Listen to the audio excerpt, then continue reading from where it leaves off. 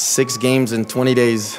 That's uh, you saw some tired legs in the first half, um, and the guys fought back. I think we created. A, Max had two very good opportunities that should be goals, but we're back here again. We're in the credit to the guys to get a last minute goal.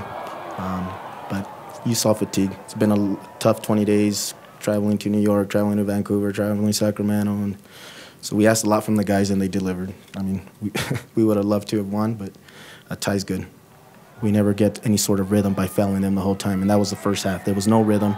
It was slow, um, and they kind of dictated it. We, we talked about it before. We wanted to set the rhythm, and it almost felt like they were setting the rhythm in the first half. Second half, I think we had the better of the rhythm and the tempo, and um, we, we just didn't get the, the third goal. We worked on patterns yesterday, and it was that identical ball coming from a wide area and we created two identical situations that we practiced on yesterday. Eti got in on one, laid it off, and we missed it.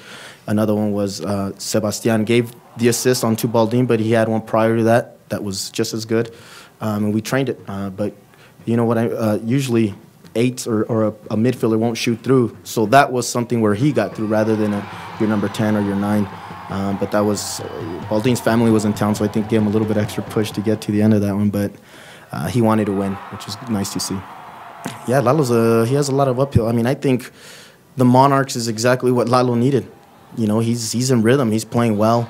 He he's compared to the first couple games, he's now making um, those saves that are keeping us in the match, and he did. He, he, he had two very good saves where he kept us in the match. Um, and that's good to him. The rhythm that he's having with the games. I mean, you can train, train, train, but when you're in the game situations and, and constantly being put on under pressure, then that's what's going to develop you.